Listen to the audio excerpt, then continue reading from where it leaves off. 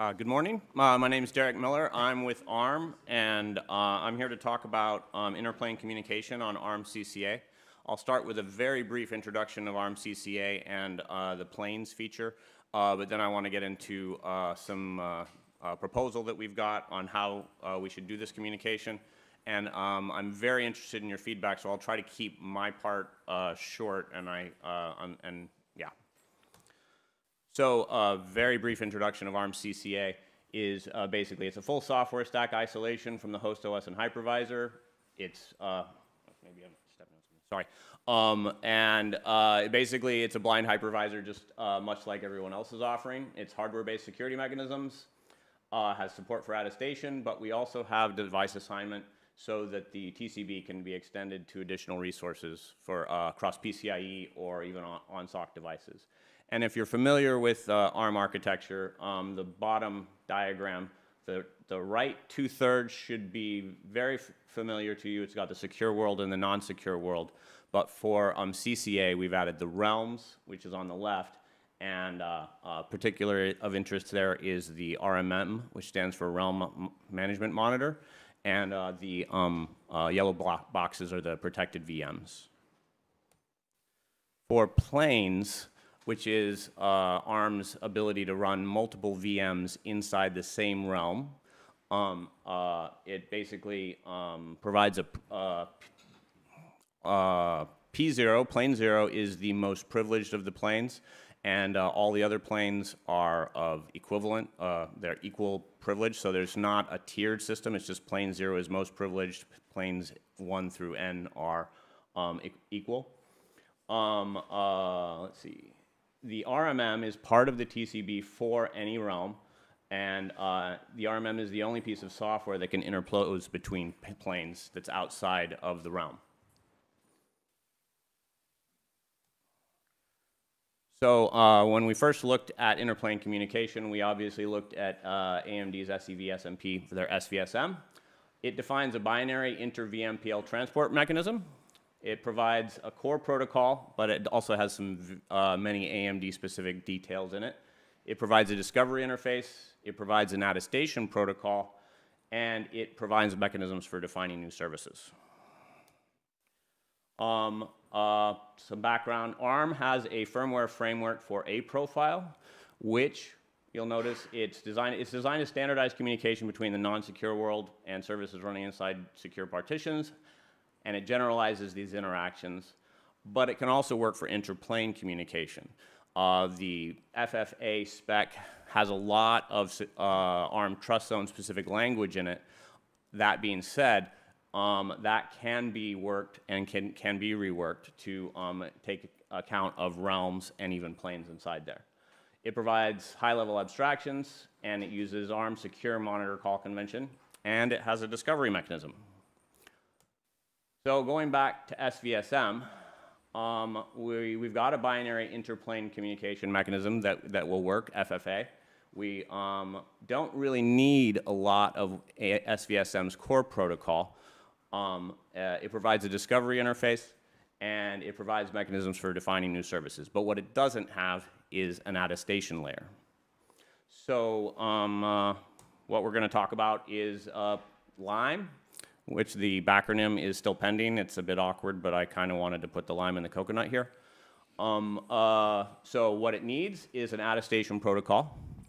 It may need a discovery protocol so that a PN could be assured that the service that it is talking to is, uh, is being offered by plane zero instead of being offered by the secure world. That being said, we could also use the attestation mechanism, and that could provide it the assurances that it needs in that case. Um, and it uses, utilizes FFA. And there was some internal debate inside ARM whether it should use FFA, which is a higher level protocol, or the SMCCC, which is a bit uh, more basic. It's lighter, but it also doesn't offer as many features. Um, uh, so and I actually wanted to show this diagram to make sure some things were clear. Plane zero is on the left. I'm sorry, the colors don't work out very well here, do they? Plane zero is on the left, and inside there we can run our VTPM service, and we can run a Lime service, which can sit on top of an FFA layer and SMCCC. Plane one, which is uh, the, a secure kernel, which would need to be able to do the Lime attestation pro- processes. And on uh, plane one, plane two is just the workload. And I've got two boxes in plane two, one showing the ability to just use existing TPM uh, drivers that use SMCCC, or alternatively, uh, the FTPM, I think I, it's a long acronym, but there's, an, there's a spec for an FTPM over FFA. So um, guest operating systems could use either of those using this model. And um, if we use the one on the left with the, um, uh, the SMCCC, um, that driver already exists in the Linux kernel, doesn't need to be updated. FFA, the firmware FFA driver is um, being upstreamed, I'm promised at this moment, but it's not in the kernel at the moment. So with our goal to provide uh, lift and shift capabilities, we, we would like to be able to provide both of those. And this solution does that. However, I am asking um, projects like Coconut and other projects that are implementing um, uh, interplane communication. This is uh, somewhat of a change. So um, uh, I think, uh, Jorg, you have a question? Just a, just a comment, basically. So um, the SVSM is not defined by the requirement for an SVSM protocol. There are other platforms that also don't need an, that don't have a strict need for an SVSM protocol. Um, and I don't see a reason why the Coconut SVSM cannot support a communication mechanism like SMCCC. So um, I think it can be a platform for what you want to do in P0. Um, yeah, it's ARM's decision whether it makes it wants to make use of it, but yeah, just that my comment from the Coconut side. Okay. Um, uh, so is there uh, any preference expressed for the use of SMCCC versus FFA? And if you don't know enough about it, I can go into some, details on that. But um, the basic uh, function of FFA is uh, to provide a higher level of abstractions, which may not be necessary. As you can see, the, um, it's possible to do a TPM with CRB without using FFA. Um, but the path forward inside ARM is to create new services using FFA instead of SMCCC um, because it provides more services. So um, uh, is there any preference or opinions in anybody on that front? Yeah, please. I, I mean, I think it's always very disruptive to disrupt the guest software ecosystem with new driver requirements. So, like, if they're functionally equivalent for you, why would you even bother doing the FFA version when you already have CRB done and working and upstreamed and in every distribution? Like, it's just, I don't know. That would be where I'd put my. Okay, so um, uh, the way we're proposing the Lime aspect, the attestation part, is uh, it'll use FFA. Nothing existing uses that, so, uh, but we- it would still enable the drivers in the Linux kernel to work as is. Can you, ex- can you explain why you need attestation of the TPM protocol when the TPM is already providing attestation of itself? Um, Like, yes. It seems a little cyclical to me. Well, no, actually, I would say it's not the attestation protocol. It's uh, this is actually um, eh, this is this is a bit of an eye chart, but the concept of this is exactly like the concept for AMD's SVSM. It allows it the the purpose of attestation for SVSM and for Lime is to be able to establish trust in the endorsement key, the generated endorsement key for an ephemeral VTPM, to an external relying party.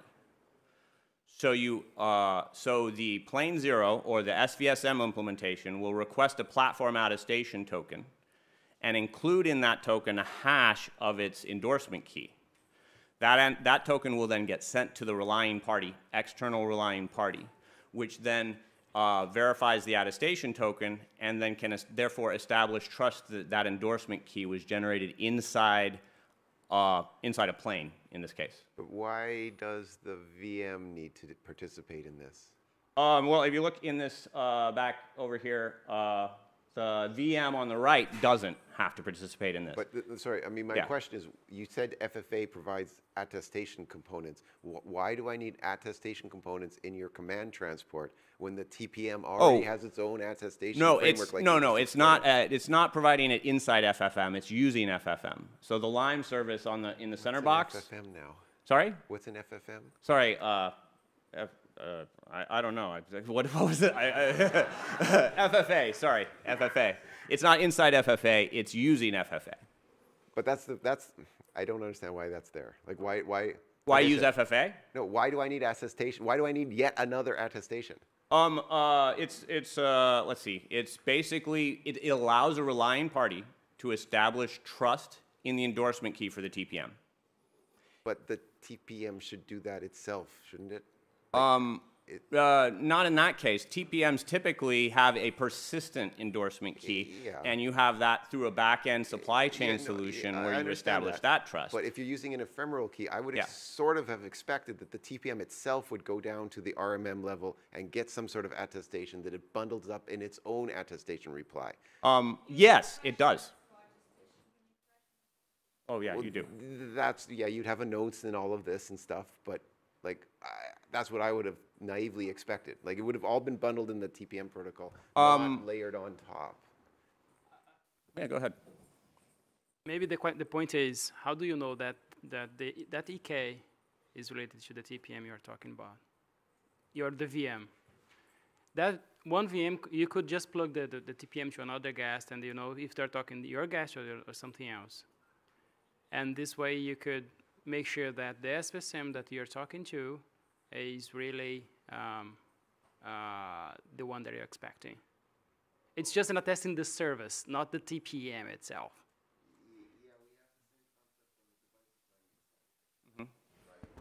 Uh, give him the mic. yeah, sorry. It does, yes. And uh, we modeled ours on that one. That, sorry? Uh, yeah, of course. We're, we're, it's all early days. We get it. Okay, I get it. But so, like when ARM, when everybody's defined the attestation, of authenticate, oh gosh, what's the right word here? When we talk about like PCI device assignment, there is a there is a step where you say this memory address is actually you know belongs to the device that I think it belongs, and it's very similar to what you're talking about here. It's not quite attestation, but it's like you're just asking the RMM, does the data that I think I have be the data that you think you have. Okay.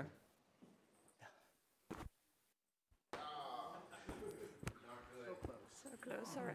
So the question, so um, I have a different question. So why do you actually need the protocol? Because like uh, typically, I mean, these things are already like, you know, VM is running the OS and it knows how to do these protocols. I mean, these protocols are not new.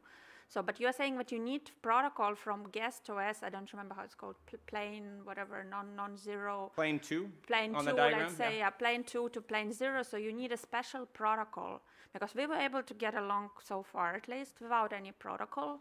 So Um, the, the question is, so Intel, so whi- whi- which, Yeah. which was presented just before. So we actually like you know using ETPM and SVSM, and we just use you know private MMIO as a communication. So why do you need the protocol, the new protocol? Oh, oh, I would say so that um, when you've got a plane two workload, it doesn't actually care what is running in plane zero, whether it's Coconut SVSM or, as an example, um, our prototyping work has been done on Linux KVM in plane zero, or some of our other prototyping work has been done with just a very bare metal um, partition manager. Um, if you have a well-defined protocol between that, then you don't care who you're talking to. so And just hypervisor agnostic is the only reason. You're uh. I would say paravisor agnostic. oh, is a sorry, yeah, paravisor yeah, because but we- yes, we're yes, talking about Yeah, this. exactly. Okay. So, But, um, but no any other technical limitations which you encounter apart from this agnostic um, no- convenience. right, none that, none that, I- none that we've come across. So, yeah, Thank you. sure, thank you. So regarding this earlier question about like why do we have this? well, so we need this this SVSM attestation thing. Why does it not go through the VTPM itself? Um, and why is there this separate protocol for it through the SVSM? One thing to think about is that not everybody who is using the SVSM necessarily has a VTPM. So there are other cases for this, and there might be some users who don't have that at all, but still need to attest the SVSM. So that's one reason why you might have those be separate. Thanks. I, I have a completely different question. Um, since you have FFA already implemented in the normal world VMs and possibly in the secure world partitions, would the VMs inside of these planes be able to use FFA to communicate with the, the hosts and with secure services? Um, yes, they could, depending on the policies uh, enforced inside the RMM. By default, the RMM um, uh, sends all SMCs from any PN to plane zero. Um, it can, uh, we don't have any configuration options on it, but then um, uh, everybody gets to write their own VMM anyway. Uh, they could reconfigure the VMM to send those to the secure services instead of sending them to plane zero in that case.